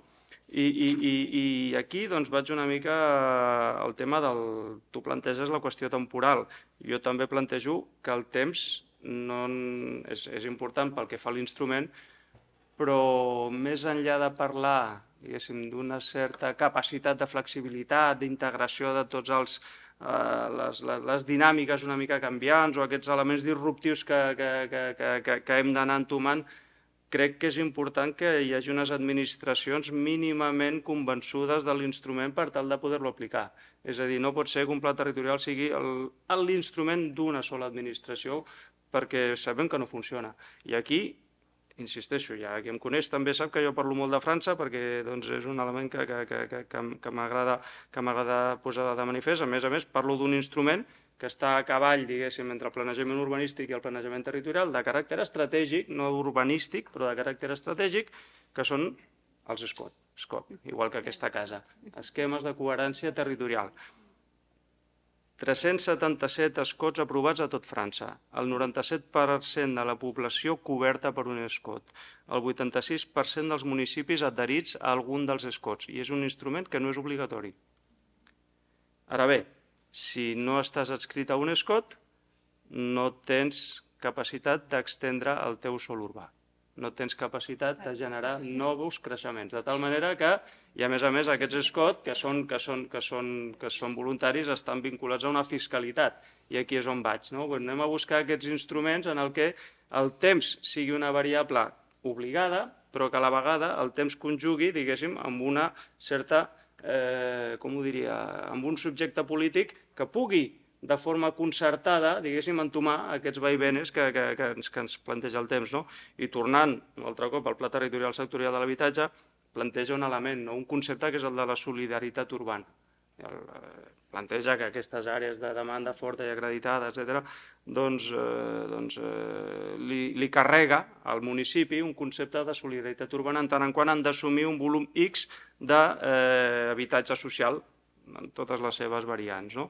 Clar, eh, jo em plantejo de quina manera els municipis eh, poden respondre a aquesta obligació, si és que ha de ser una obligació, evidentment, és, és, és un compromís cívic de tothom doncs, eh, poder mantenir uns elements, uns estàndards de solidaritat urbana. Però plantejo un altre cop aquestes àrees, no? La solidaritat urbana per què? Per evitar aquesta segregació residencial. Com, com, com com afectem, diguéssim, quina política utilitzem per evitar la segregació residencial? En funció del municipi, en funció de l'àrea, en funció dels espais que tenim identificats, aquestes unitats estadístiques barrials que ens estan mostrant, diguéssim, on estan concentrats els, els, els problemes, Aquí també, un altre cop, necessitem més dades. Necessitem unes dades que arribin als municipis no tan grans, que ja més o menys els tenim identificats, especialment en l'àmbit metropolità, però també als municipis menors de 10.000, menors de 20.000, menors de 5.000, per veure realment on tenim aquests problemes perquè les estratègies per resoldre, o si més no, per mitigar aquests problemes, no passaran per la capacitat del municipi, passaran per una capacitat en el que realment aquesta solidaritat urbana s'estableixi en àrea urbana i aquí és on juguen les jerarquies, és on juga el planejament una mica a l'hora de plantejar doncs, instruments. Crec que, crec que, i aquí el temps corre, diguéssim, eh, hem de generar instruments des del planejament també, però no només, per dissenyar unes estratègies de regeneració urbana, i tu ho has dit industrial. Els teixits, el planejament territorial pot establir una sèrie d'estratègies, pot establir una sèrie de mm, programes, i això el territorial del Penedès ho insinua, ho insinua, planteja àrees d'acció, planteja unes àrees d'intervenció específica per temes específics. Hi ha un element interessant del pla territorial, tot i que no és normatiu, que planteja doncs, les diferents escales. Diu, escala de planejament, ara no recordo l'altra, escala, de, escala, de, escala urbanística i escala de projecte. Planteja i dibuixa fins i tot les escales, dibuixa els polígons en els que caldria segurament un projecte. No diu com ha de ser aquest projecte, però ja defineix, ja delimita alguns espais, i això el planejament, i aquí juga amb el temps. I, escolta, jo plantejo aquesta base, aquest marc, a partir d'aquí anem, diguéssim, desgranant. I de quina manera un pla incorpora el temps? Pues definint aquells espais segurament molt ajustats, que amb el temps es poden corregir o no, però que diu, això algun dia s'hi haurà de treballar en aquest espai en concret, amb una escala de projecte que no és la meva. Però aquí el pla jo crec que està incorporant unes capes que les podem aplicar en el temps. Tinc moltes més coses, però... Jo puc, puc fer-te això una reacció ràpida? No, eh, jo crec que hi ha també un tema aquí que és la gestió de l'expectativa. No? Tu parlaves d'aquestes tendències demogràfiques Eh, I està clar no, que tots, no, eh, no, que està clar que anem cap a, cap a l'envelliment, no? eh, i en alguns casos, clar, ens podem trobar amb, amb coses tan absurdes que en algun lloc, no, durant uns anys necessitem una escola, però, però al cap de, no, com realment, no, doncs estem també no, eh, perdent moltíssima població infantil, no tenim naixements, doncs pot ser que aquesta escola en 20 anys no sigui necessària, no? Aleshores, aquesta idea del planificar per la temporalitat, pel mentrestant, no? per aquestes situacions intermitges, jo crec que és el, el, el nivell també de complexitat afegida que, no? que, que, que estem abordant avui, avui en dia. No? És a dir, perquè tenim aquest, aquest mentrestant.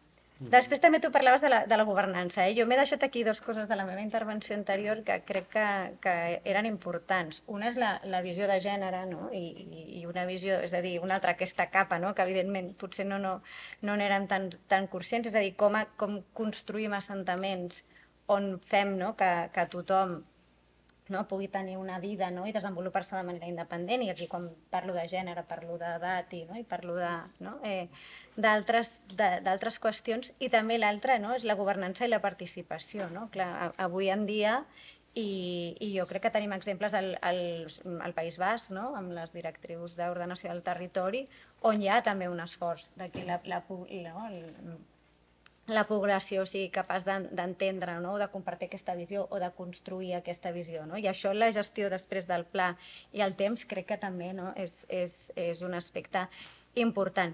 I en quant a la governança, bueno, a mi m'agrada molt que estigui avui l'Oriol Estela del PEM, o sigui, mm -hmm. el PEM és un organisme d'aquests que tu, no? d'alguna mm -hmm. manera estàs com, com reclamant, no? Ells, a dir, ells acompanyen aquest pla estratègic metropolità, no? Aleshores, la idea de que hi hagi equips també que, que entomin, no? gestionin el, el, el pla des de les diverses administracions, i jo crec que hi ha mm. també un, no? un altre exemple, no? doncs és l'equip del PDU metropolità, és important, mm -hmm. perquè d'alguna manera no?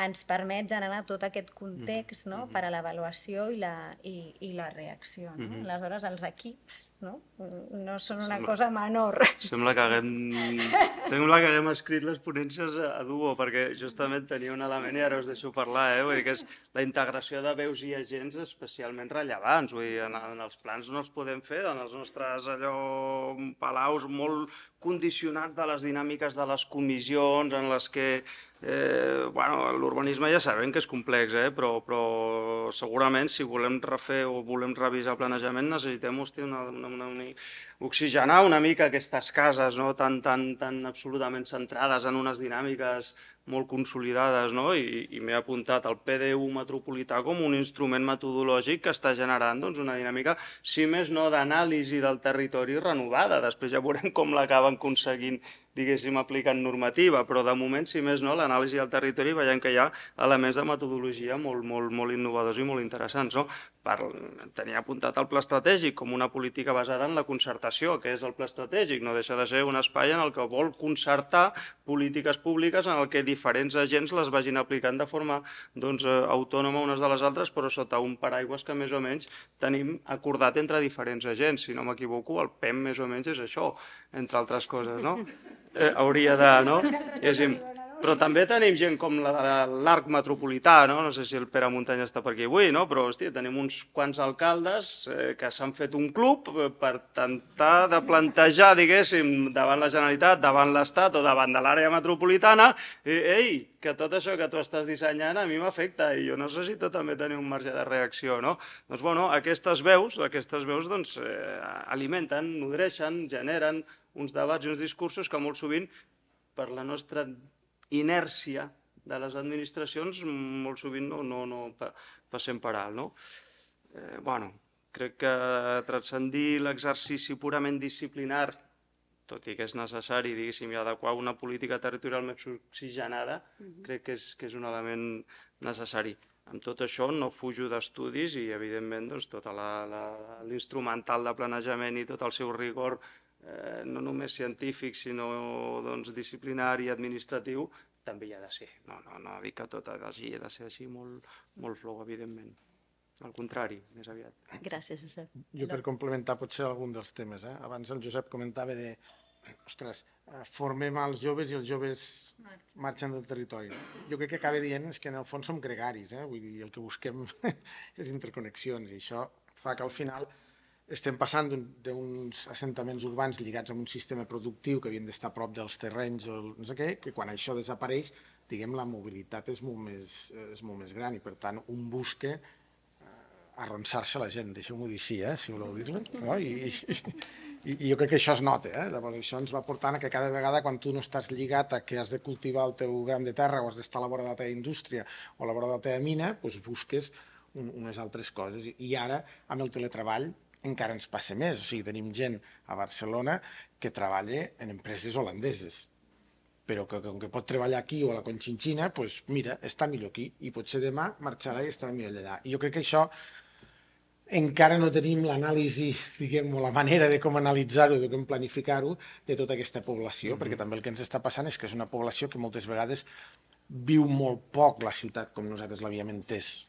no? I, i, i aquí tenim un, un conflicte, vull dir, jo que visc a la vora del barri de Sant Antoni, doncs hi ha una població de Sant Antoni que no viu a Barcelona. Uh -huh. No viu la Barcelona que jo visc, viu a Barcelona, uh -huh. els altres contactes, i avui estic allí i demà estic allà. Jo crec que això eh, va lligat amb el que el comentaves tu, d'aquest canvi de demografia, no? aquesta demografia fluida que tenim, que és tan gran i que, i que no sabem massa bé encara com, com gestionar-la. No? Uh -huh.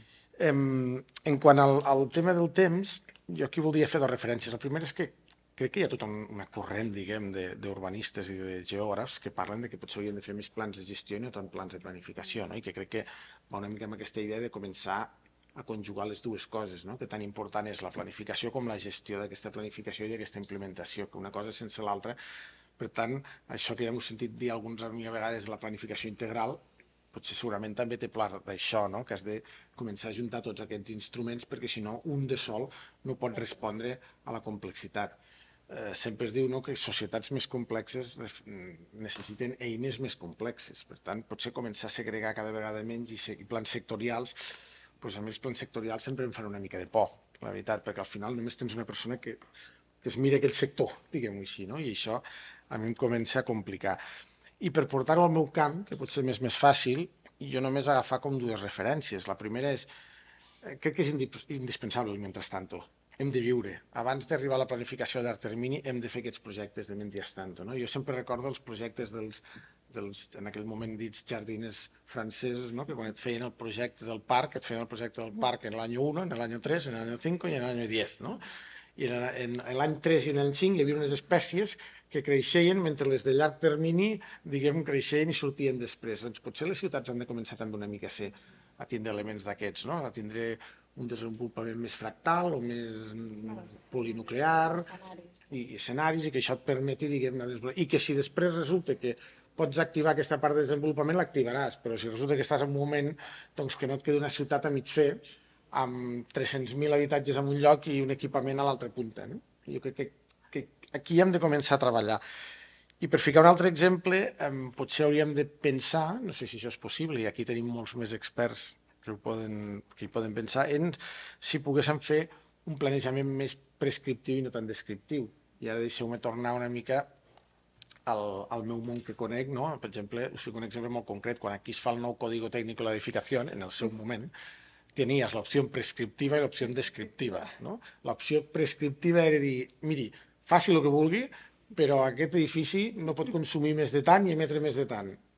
L'opció descriptiva és, i si vostè no em sap fer això, doncs me fa les parets d'aquesta manera, me fa les finestres d'aquesta manera, doncs potser podríem començar a dir, miri, vostè faci el que vulgui, però aquest assentament urbà té una capacitat hídrica de consum de tant, um, no m'hauria de generar una illa de calor de més de tant, no m'hauria d'emetre mm, més de no sé quan, i aquesta seria l'opció prescriptiva. Si vostè no ho sap fer així, miri, jo li dono un exemple d'un tipus d'urbanització, de construcció, que més o menys sé que compleix aquests requeriments. No? Bueno, potser podríem començar a estudiar també temes d'aquests. Eh? No Però qui, qui és aquest vostè? ah, qui és aquest vostè? I, i, I de quina manera aquest vostè assumirà aquesta població immigrada que ens ha de nodrir aquesta nova industrialització que vindrà pobra i que no tindrà capacitat d'escollir on localitzar la seva residència. Aquests 70.000 habitatges que ens plantejava el Josep Maria Carrera en la, en la, en la sessió primera, no?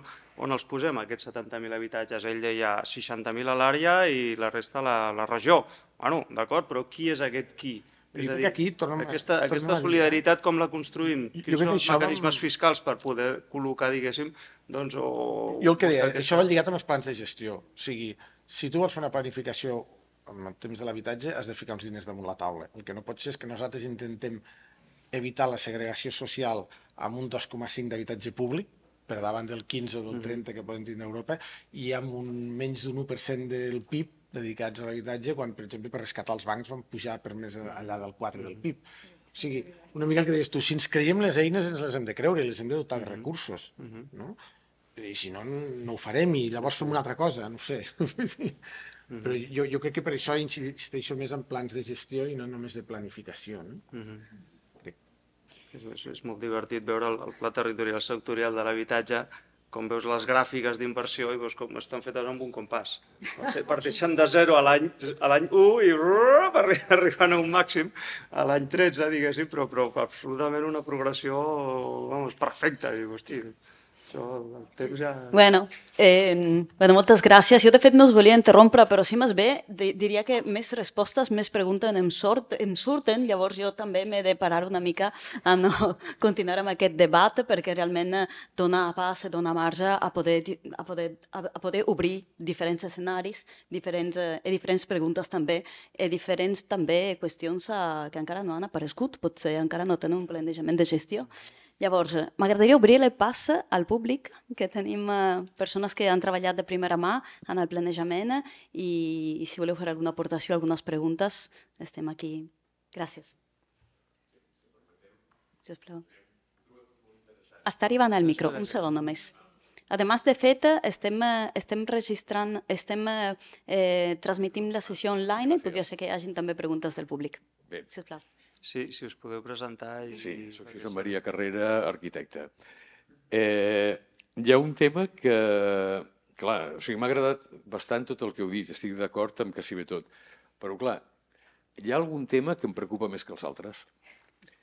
I el problema que em preocupa més que els altres és que, no sé si per sort, els escenaris que plantejàvem, quan a població i llocs de treball, han sortit bé.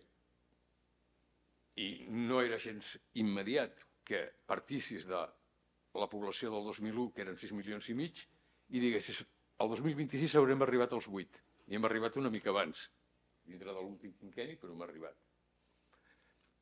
Jo tinc una mica l'explicació perquè hem arribat una mica abans, i és que la taxa d'ocupació específica dels immigrants no ha estat del 80%, sinó una mica menys. I això ja m'explica tenim una mica més d'atur del que hi hauria si hagués funcionat el model tal qual, però ha funcionat bastant bé. Llocs de treball, que era el detonant, ens ha portat una immigració. Hi ha coses que es comproven, eh? Diem, ens, ens estem envellint, sí, ens estem envellint, però ens hauríem envellit molt més sense aquesta immigració. Fins a quin punt? Fins que ara hi ha el doble de gent entre 0, entre, eh, 0 i 4 anys dels que hi haurien hagut si no hagués sigut cap immigrant. Cap immigrant. Hi ha el doble. Clar, malgrat això, seguim envellint i la piràmide ha agafat una forma que era com la que ens sortia. Val. Però, és clar, fan fer unes hipòtesis de que aquesta gent que venia havia de viure mitjanament bé. I la gent que hi havia aquí també. I ens ha fallat una cosa molt... Abans ho ha comentat eh, en Wagner, els habitatges. No hem generat l'habitatge necessari perquè els que venien, o sigui, aviam, els d'aquí es seguissin emancipant com s'emancipaven, això vol dir que els menors de 30, de 30 anys d'aquesta població hi havia un 30% emancipada, el 2021 estàvem al 16. Vull dir, per tant, això són dades, diguéssim, eh? Els menors de 30 anys ara sol estar emancipat, bueno, el 2021 sol estava emancipat un 16%. Clar, gent que segueix a casa seva, que no s'ha emancipat. Bueno, no els hi ha fet falta habitatge. I els immigrants, passats un quinquenni, tindrien que tenir una distribució similar als d'aquí. perquè haurien trobat habitatge. No l'han trobat.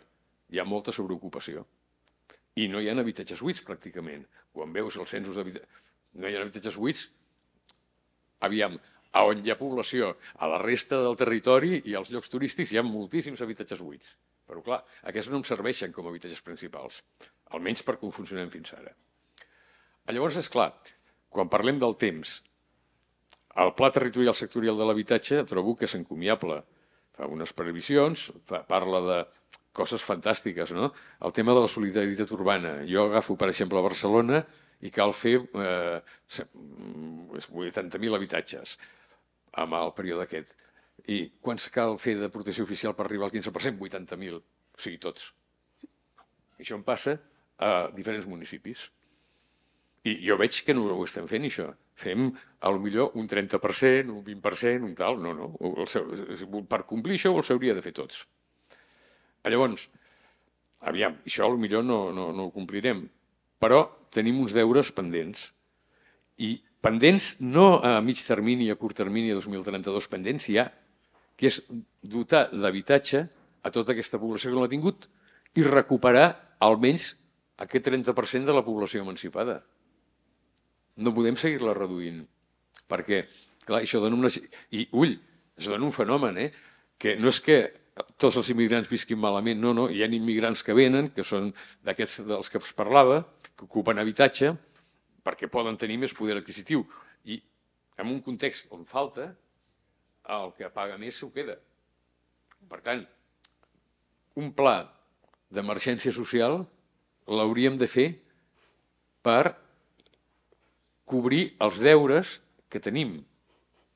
I això no veig que ho estigui plantejant ningú. No sé si són 60.000 o 70.000, però a la regió metropolitana surt una cosa d'aquest ordre, d'aquesta magnitud. En altres llocs segurament s'obren, però clar, no, no, no pots dir que la gent d'aquí es baixa a l'Empordà o a la costa on s'han fet molts apartaments. Bueno, això és un altre tema que, aviam, que els, els PDUs aquests de tal, de, de sols insostenibles, ja han fet la seva feina, està molt bé, però aquest tema em sembla que és eh, cap, capdalt ara. I si no, generarà una conflictivitat social que l'ha de generar. No pot ser que tinguem aquesta edat d'emancipació que tenim. Per tant, no sé si hi ha cap política a la sala, eh, doncs que ho tinguin en compte i que donin alguna resposta a tot això. Eh, però clar, l'altre tema, i això ho hem de fer en un context on hem de complir un deure que ja sabem i un que sabrem dintre de pocs dies o de pocs mesos. Un deure que sabem és el de que a l'any 2050 hem de ser neutres amb emissions de carboni. Espavilis com vulgui. I l'altre deute que sabrem aviat és que el 2050 haurem de tenir tots els ecosistemes restaurats, sabent que la Unió Europea el 80% estan en mal estat. I això no es fa amb una directiva, es fa amb un reglament que es diu Reglament sobre la restauració dels ecosistemes a la Unió Europea, on es parteix de la base de que el 80% estan en mal estat. I on partim de la base, que això es manifesta, amb que la biodiversitat està caient d'una manera no alarmant, sinó cavalgant. Vull dir, a Catalunya l'informe del 2020 sobre l'estat de la natura ens diu que hem perdut un 25% de biodiversitat en 20 anys. No podem perdre un altre 25 en 20 anys més, perquè ens quedem amb la meitat i, no sé, en 40 anys ens quedem sense cap bitxo. Aviam, vindran espècies oportunistes que ocuparan els llocs de les que hi havia, evidentment, però no ens interessa, i això no s'aguanta. Per tant, jo trobo que tenim uns reptes a, aviam, alguns són a mig termini, el 2050 tampoc està tan lluny, però altres són a curt termini. El tema de l'habitatge jo crec que és un tema a 6 anys o a 8 anys, no podem parlar. Llavors, per acabar, eh, aquest rotllo que estic fotent, el tema del pla territorial sectorial de l'habitatge estaria molt bé si tingués aquest pla d'emergència, perquè això que, tu, que, que, que deia en Wagner de que fa un compàs, no, no, tindria que començar molt amunt, diguéssim, i després ja veurem, no em preocupa el que vingui després. Hauríem de fer un esforç ja. Vale? Ja està. Gràcies. Crec, crec, que, crec que no sé si tenim... O sigui, eh, eh, recollim algunes intervencions més i, I després... Que estem... Bueno, sobretot ha compartit, eh, els quals crec que també des de diferents sectors els estem, eh, disciplina, eh, ho estem abordant, no? Però precisament està connectat a lo que deia abans el, el Josep, la lògica del multiactor i de fer de manera que realment no es treballi la lògica de planejament o les disciplines com uns silos, sinó des de diferents vessants, lo dels, lo dels eh, canvi climàtic o lo, del, lo dels ecosistemes, realment mm. és un repte que fins que no ens posem tot amb la lògica de les missions que està liderant també a l'Oriol Estel amb el, amb el PEM, és un dels, dels instruments que realment no és un pla, però pot ser que sigui un pla de gestió no? que ens permeti abordar grans, grans reptes de, humanes, urbanes, eh, contemporànies. No, no és la resposta, eh, però... No, no, no aviam, Ja, ja, sí, ja. ningú deia... Eh, no, no, que està molt bé, estic d'acord, eh? però ara tenim una cosa que hauríem d'aconseguir resoldre a curt termini amb un programa, amb uns diners i amb uns espais. I els espais els tenim. El planejament territorial, jo ho he estat comprovant, tenim espai suficient per donar resposta a aquest repte a curt termini i bastant més, i molt més. O sigui, aviam, a la regió metropolitana l'escenari que al final vam adoptar era de 5.250.000. Estem por ahí, por ahí. Eh? Entre un alt i un baix, aquest és el que sortia mitjà. Segurament arribarem abans de 2026 a això. Vale. Però aviam, aquí hi havia capacitat per 6 milions d'habitants, amb el que deia el pla. Per tant, no és un pro... no, aquest no és el problema. Més amb la transformació urbana que hem de fer de molts teixits obsolets i amb aquest 90% d'habitatges que hauríem de fer una rehabilitació energètica, efectivament, etc etc. no? Molt bé, gràcies. Eh, tenim alguna altres intervencions? Molt bé, gràcies, Juli. volia dir coses, però potser calia, volia esperar una mica. Uh, a veure, uh, jo crec que he dit coses molt interessants, però jo voldria, dintre d'aquest conjunt de, de línies d'actuació, de, de dèficits que heu assenyalat, d'instruments possibles, resituar l'origen de la trobada, que són uns plans territorials, podríem dir uns plans territorials concrets de la llei del 1983, i fets en unes condicions determinades i que no es donen la resposta que donen. Llavors, dintre de l'escalat que pot haver-hi dels nivells d'observació del fenomen territorial i humà i polític, sé, estem en un dels més baixos. Estem parlant d'un planejament territorial, que és el que tenim per llei, que no és tot el planejament, que no és la política territorial i que no és tampoc la política que tots ells doncs, van ampliant el, el camp d'acció i tenen instruments específics, maneres d'operar, etc que han de donar resposta als problemes de les persones i de la societat i de les necessitats i, i, de, les, i, de, les amana, i de les amenaces còsmiques que, que ha parlat el Josep Maria. No? I tot això està, jo crec que en el primer lloc, en el primer lloc, i llavors no, dir, no és que demani eh, eh, que hem de parlar dels nostres territorials, no, simplement els vull resituar, i per això em sembla que són, són menys importants que tot el que heu dit, però són com són.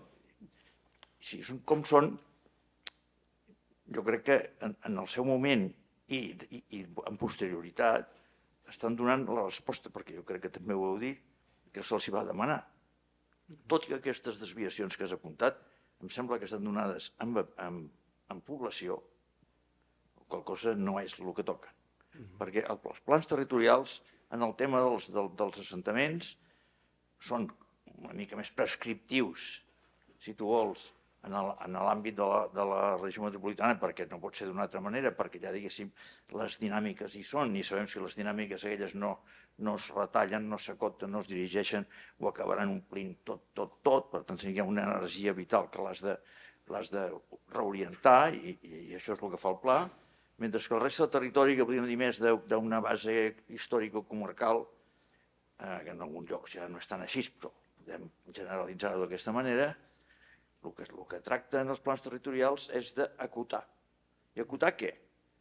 Pues la variable que ens sembla més transcendental cara al futur i la variable més fàcil d'acotar perquè té un dimensionat exacte de tipus geomètric, que és l'extensió. O sigui, aquí es va partir bastant de la base, perquè tampoc hi havia massa temps per fer altres, uh -huh. altres finures, de que eh, acotant les possibilitats de creixement dels nuclis, no en funció del seu planejament urbanístic, sinó en funció de lo que eren en realitat, i creant una sèrie de categories que ja més o menys són conegudes i que en alguns casos es proposava que s'expandissin perquè la seva potencialitat d'organitzar el territori era gran, perquè aquí hem tingut des, dels, des de fa més de 100 anys una estructura de ciutat, eh, que després és un, un, terme, un terme que va aparèixer molt després, als anys 60, de ciutat-territori o de ciutat-regió, ens semblava un model excel·lent.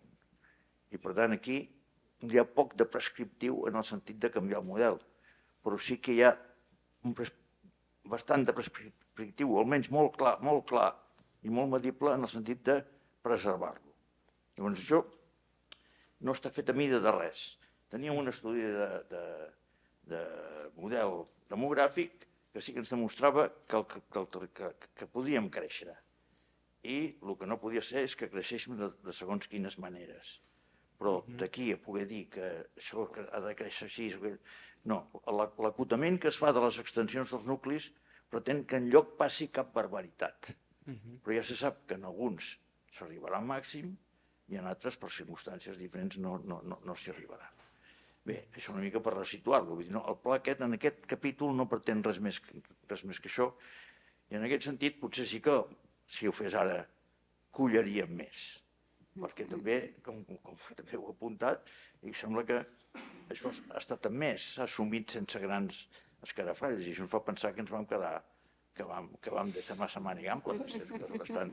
Però no he vist tampoc una manera, un algoritme que ens permetés mesurar que hem d'arribar fins aquí, hem d'arribar fins allà. I segons la resposta, la resposta política que teníem en cada moment, doncs vam posar, vam començar amb el 20%, vam acabar amb el 30%, després, després van aparèixer els de mitjans que no hi havien d'haver estat, etc. Bueno, eh, ha, ha quedat com ha quedat, però jo penso que eh, em demostra que l'instrument ha funcionat, vull dir que potser perquè era fàcil que funcionés, però bueno, d'aquesta manera estic segur que algunes coses que podien haver passat en el territori si no hi hagués, hi hagués hagut aquesta limitació haurien passat. I això, com deia també el Ferran l'altre dia, també ha ajudat a, a, a la preservació de, de, de, dels espais oberts, dels espais que no s'havien d'ocupar, perquè partia una mica de la base de que eh, el sol, l'estalvi de sol, en, pel que fa a la naturalesa del instrument, és l'element central mediambiental. Els plans, això sí que ho poden tocar a fons. Toc, toc, toquen indirectament altres coses, com la contaminació, com el, i, pues, el, el, els- el, la, la mobilitat, eh, eh, però el- l'ús de sol, la, la transformació de sol, això és una, una variable pròpia del planejament i per tant els plans van posar l'accent en aquí. Eh, i aprofito per assenyalar una altra cosa, deixo aquesta explicació de lo que és el pla territorial amb les seves limitacions i les seves eh, gràcies. Eh, L'altra cosa és que hi ha un instrument abandonat des de l'any 95 que es va aprovar, que ningú més li ha fet ni cas, ni nosaltres tampoc, i que, que és el, i que valdria la pena eh, ressuscitar-lo, donar-li vigor i que fos un referent per enquadrar totes les coses que heu estat apuntant, que és el Pla Territorial General de Catalunya. Que aquest és un pla el qual el seu contingut i la seva capacitat és oberta, serà, pot ser el que vulguem, i l'únic que es tracta és que algú sí que s'hi dediqués i obrís, eh, i, i obrís, diguéssim, les vies d'incorporació de totes les problemàtiques d'avui, que la llei del 83 n'hi va sospitar. La llei del 83 és una llei que em cau molt bé perquè crec que està molt ben feta i es va aprovar una de les poques coses que, que s'ha aprovat per unanimitat al Parlament, però és una llei que no diu ni una sola vegada en tot el seu text la paraula medi ambient ni la paraula paisatge, però ni una vegada. Eh? Això no vol dir que sigui una mala llei, però sí que, sí que diu que és una llei que té molts anys. I per tant, eh, també estaria bé revisar-la, però em, se- em seria una mica una, una pèrdua de temps revisar aquesta llei i no fer el pla eh, general territorial partint de les oportunitats que aquesta llei ens dona. Men- Mentre deies això, a darrere teu el Matías anava reint amb el Xavi, amb el Joan Masferrer, perquè justament en aquest grup de treball intern, de la, intern el grup de treball de la Generalitat, al respecte de quin model, el tema de revisar el model territorial que s'expressa mitjançant el Pla Territorial General de Catalunya, que té rang de llei, Per tant, té un component, diguéssim, prescriptiu important, era un element de debat constant, permanent, i ja no parlem si entrem ja en la qüestió de la llei de territori, que ja entrava en un El nivell ens d'indefinició ja El Matías màxim, no? ens- Però, però, però, però el debat és, és, és, hi és, hi és, Juli. O sigui, justament, justament ho parlàvem, eh? dèiem, que toca revisar plans o toca revisar model? Si toca revisar model, anem al territorial general i apliquem, diguéssim, un instrument que ens, després en, ens, ens derivi cap a l'altre. No? Bueno, és un debat que, si més no, si més no, allà on he pogut assistir, i agraeixo la, la, la invitació que se li va fer a l'Escot per participar en aquest grup de treball, és un, és, un, és un debat latent. La- Latent no, és un debat ja que comença a ser explícit. De tal manera que benvinguda sigui. Sí, sí. Xavi Matia. Sí, no, no, iba a parlar, no anava a parlar d'aquest tema, però sí, em sumo a la reivindicació de que cal parlar i definir model. Agrair-vos les intervencions. De fet, m'ha agradat perquè jo crec que us ha passat el que ens acostuma a passar a la vida, que és que situem els problemes de veritat, i el Josep ha començat no, parlant de les- de l'informe d'estudis demogràfics. Tenim un territori, uns assentaments segregats, despoblament, dificultat de cohesió social i envelliment. I després ens anem oblidant. No? I ho anem deixant com a dalt i ho anem esquivant, in inclús pitjor. No? Acabem arribant totes, no? com fa és- el planejament no hauria de ser més flexible i llavors jo crec que ens hauríem de creure que el planejament eh, és útil i ha de, i ha de, i ha d'establir determinades eh, decisions sobre el territori. És veritat que tenim un futur incert, però també tenim certeses. I estem en un escenari més de corregir tendències que no de provocar-les. No? La mare deia, oi, potser una escola de, deixa de ser necessària? Depèn del que fem. És a dir, jo crec que ens hem de, o sigui, hauríem de plantejar-nos si el planejament està com per assumir un destí fatal i ser flexible i deixar que passin les coses i que ens envellim i que ens despoblem, o realment ens plantegem una regulació dels assentaments urbans que incideixi sobre el que ens ha de passar en el futur. I crec que, que aquest és un tema, segurament igual també té a veure amb, amb la lògica de model, però ens ho hem de creure i crec que ho hem de reivindicar, o, o ens plantegem un planejament que realment incideixi en aquestes tendències, o no cal, diguéssim, no sé. O... I això, i sumo una qüestió, que la Mar també ho situava bé, potser necessitem construir nous perfils de com són aquests assentaments, i potser la regulació d'aquests assentaments és el planejament territorial, no ara parlava el Juli, no? que fins ara no? es tractava de com acotar aquesta extensió, potser hauríem d'anar a partir d'ara més enllà d'acotar l'extensió i traslladar als municipis algunes condicions, també recursos associats, no? o alguns deures, per dir-ho d'una manera més col·loquial, que vagin complint, perquè al final el territori serà una suma de decisions de caràcter local, ja siguin sistemes més complexos o més, o més senzills. No? Però crec que la regulació dels assent- assentaments passarà per afegir alguns condicionaments addicionals, més enllà de l'extensió, segurament. No sé, fa poc escoltàvem un, un, un, un alcalde en què no poden prohibir llicències que signifiquen construcció de més piscines. Clar, i estan passant coses com, no? potser haurem de plantejar com regulem, eh, o si és possible des del planejament, regular determinades qüestions de consum, de recursos, etc etc. no? Però dic, dic, ho dic perquè la flexibilitat fa anys que ens anem torturant, no? els urbanistes. Hauríem de ser més, planejar més flexible, doncs igual no. O sigui, igual hem de tenir algunes coses clares i el planejament ha de marcar algunes qüestions eh, que ens permetin revertir la situació, perquè si no doncs seguirem amb una tendència de de desequilibri, de manca de contenció territorial, etc etc. Gràcies, Xavier. Jo, jo només per recollir un moment, perquè crec que si em deixes agafar el guant, jo és el que li diria al, al Juli, no? Dic, ostres, doncs mira, sí, realment les noves generacions creiem, perquè crec que ho hem dit tots, eh? que la gran eina que va tindre els plans és acotar segurament aquesta extensió i preservar tota la part de territori, però també ens n'adonem de que a dia d'avui, eh, com diu el Xavi, eh, els hi hem de demanar més no? amb aquests assentaments i hem de, hem de demanar que mantinguin una qualitat, si vulguis dir, amb uns paràmetres els que definim, que facin que tots nosaltres hi puguin viure millor. I, i, i- crec que aquest és el pas en el que estem. Eh? O sigui, el que, suposo que un sempre veu més el que ha passat, és més fàcil dir una vegada passat, no? i crec que és veritat, hem preservat uns espais, però també és veritat que els espais que hem construït, que és veritat que, com hem dit, el, el, la meitat més o menys dels, dels municipis han, han seguit aquesta planificació, però amb una qualitat més baixa de la que esperaven. O sigui, amb una qualitat, diguem, habitacional més baixa de la que esperàvem. Llavors, per tant, potser, per mi això és el toc d'alerta, no? Ojo, que estem construint uns assentaments urbans amb menys qualitat de vida de la que hi havia abans. Per tant, jo crec que és un toc d'alerta de dir segurament no en tenim prou només amb acotar l'extensió, sinó que hem d'acabar ficant uns paràmetres, com deia, eh, d'illa de calor, de, de contaminació, de capacitat hídrica, per aconseguir que aquests assentaments mantinguin una certa qualitat i no esdevinguin, diguem, amb, no diré suburbis, però a àrees, diguem, amb, pitjors qualitats. No? I jo crec que aquest és el repte, eh? per mi aquest és el repte, com ho fem? I si és el planejament, el que, o com a mínim el planejament territorial, el que pot marcar algun d'aquests paràmetres. Però és que si no ho farà si no fa el planejament ens van quedant menys eines, no? Vull dir, jo, jo crec que les hem d'utilitzar totes, eh? perquè si no, vull dir, ens passarà això. I, I és aquí una mica on anava també amb el tema de prescriptius, no? de que potser en alguns moments, en alguns com, um, paràmetres, podríem ser més prescriptius. Nosaltres tenim, um, hi ha pobles, no direm noms, a la província de Barcelona que sabem que no són viables a nivell de capacitat hídrica. Ningú diu.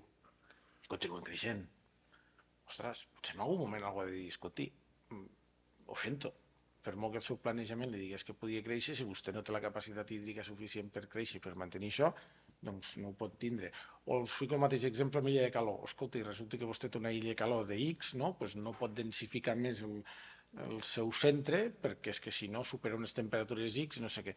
Potser és una via de fer-ho, no ho sé, no, no dic que sigui la, la que ho és, però potser ens donaria aquesta via per començar a ficar alguns criteris qualitatius, si vols dir, no tan quantitatius, en els nostres assentaments. Que això ho ha de fer el planejament o no? Um, jo crec que ara potser ho podria fer. I sé que és hipercomplicat, eh? perquè és veritat que el primer pas el vam aconseguir bé, no? que és el, el d'acotar l'extensió. Pues potser ara podríem, podríem acotar altres paràmetres, no? No ho sé, eh? No... Gràcies, Eloi. Tenim una altra pregunta. Un segon que arriba el micro. Bueno, eh, soc en Pau Batlle i sóc arquitecte. Arquitecte menor, eh? perquè aquí està ple de, de senyors molt importants. No els hi vull fer la competència, però tinc ganes de parlar. I senyores. I senyores, senyores. I senyores, perdó, sí, però això del feminisme també m'ha arribat tard, perquè soc molt gran. bueno, no, jo és que resulta que últimament he llegit dos llibres. Un es diu La ciutat del quars, que suposo que molts coneixeu, que és l'evolució i la construcció de Los Angeles de Califòrnia, i l'altre, un llibre que estic llegint ara, que és molt maco, eh, que es diu eh, Demà serà un altre dia, del, del Joan eh, Martínez Alier. Impressionants, els dos, eh? I a mi em dona la referència que vosaltres ho, ho heu explicat, me les dona aquests dos llibres. Per una banda, la creació desmesurada i descontrolada d'una ciutat americana, que a més a més molts d'aquí s'han emmirallat, o sigui, bueno, el, tema, el tema de la planificació no està controlada. Aviam, el Cerdà, quan va fer el, el, el Pla Cerdà, no sabia que existirien els cotxes de, de, de gasolina. I, de, I quan es va fer el Pla Cerdà, ai, perdona, el, el, el Pla Macià, ningú sabia que al Delta hi aniria un aeroport com el que tenim. O sigui que eh, veiem que la planificació es, es planifica però després es va omplint de coses diferents en funció de la gran especulació del sistema capitalista, per entendre'ns. O sigui, hem viscut un segle amb aquestes característiques.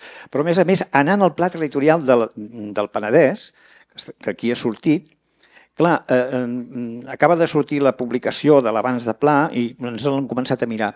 Resulta que hi ha una previsió de 700 hectàrees dedicades a la logística i al mateix temps hi ha una introducció en, en els estudis previs d'aquest pla que diu que, eh, seguint la, les lleis de la Unió Europea en quant, a, en quant a, a contaminació, que aquest pla serà un, diríem, un pla model per descarbonitzar el territori.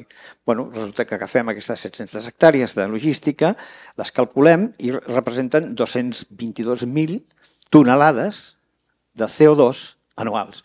Clar, llavors aquestes grans contradiccions representa que mm, no és un problema de replanificar el territori que ja està planificat, sinó d'introduir inputs diferents que serien el tema, de, el tema ecològic, bàsicament, encara que mm, hi ha molta crítica sobre el tema ecològic, però jo crec que aquest és el tema principal. No? O sigui, quins elements s'han d'introduir de més perquè aquest planejament sigui un planejament integral i no un planejament que segueix sent parcial. De fet, gràcies I per les de Picasso. aportacions. Volia un exemple de Picasso, allò que deies... Sí, no, no, clar, evidentment, l'educació, la gent que està en els, en els territori va mm, pujant d'escala fins al final. O sigui, jo pensava en Picasso. Picasso no hauria existit si no hagués existit París. Enteneu? O sigui, que una cosa no treu l'altra. O sigui, podem estar al territori i podem estar a París. Vale, molt, moltes gràcies per l'aportació. De fet, és interessant. Ma- Matías era una amenaça de... Vale. és interessant perquè, perquè tot just tanques aquest debat, però obres el que serà, el quart i últim debat d'aquest cicle al voltant del, del, del planejament que està relacionat a infraestructures, precisament. Aviat eh, us direm la data, però serà d'aquí a un mes, crec que em sembla, ja no la tenim, no me recordo, perdoneu i mm, us la comunicarem aviat. Eh, de nou, m'agradaria agradir-vos especialment perquè sabeu que l'Escot neix amb el propòsit de ser un espai acadèmic, d'acadèmic i professionals eh, que permet fomentar el debat, el pensament crític, eh, l'imaginari col·lectiu al voltant de com ha de ser el nostre espai construït. I ho fa de la mà de totes aquell- aquelles persones que han anat aportant coneixement i experiències al voltant d'aquesta disciplina. I és precisament per això que volem agrair-nos no, no, no només les persones que estan a la taula, agraïm també el Benet que no estarà amb nosaltres però ha estat emocionalment, ho sabem, i tots els que heu vingut avui. Si no ho sou, sí que us convidem a fer-vos socis de la- de l'Escot, ho trobeu, trobeu tota la informació no en la web perquè ara està una mica fora de ús Hi ha un QR. Per però hi ha un QR i, i res, estarem aquí nosaltres també si voleu, si voleu que estarem més en profunditat d'algun aspecte. Sí, moltes gràcies de nou. Molt bé.